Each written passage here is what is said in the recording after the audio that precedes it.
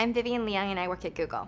Today we're here to talk about Google Apps, which if you're not familiar with it, uh, is our online suite of communication and collaboration tools. I think here at Google we've been looking at ways people work with each other and communicate with each other, um, and we found that most of the time we're pretty attached to our own computers or hard drives.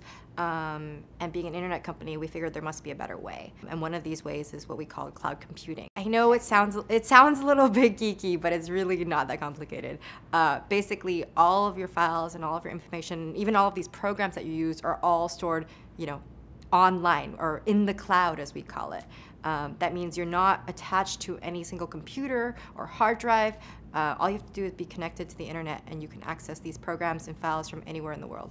Uh, let's use an example. So I'm in New York and my coworker is in San Francisco and we need to work on a presentation together. In the old way, um, we would have created a presentation, emailed as an attachment and sent it back and forth, back and forth until we were done.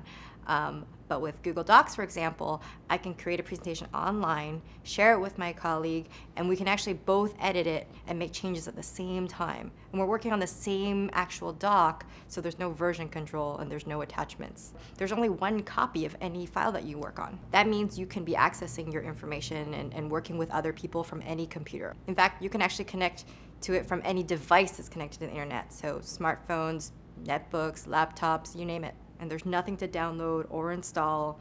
You just get online and off you go. I hope this video has been helpful. If you have any ideas on how we can make apps better, please let us know at this link. Thanks, and happy cloud computing.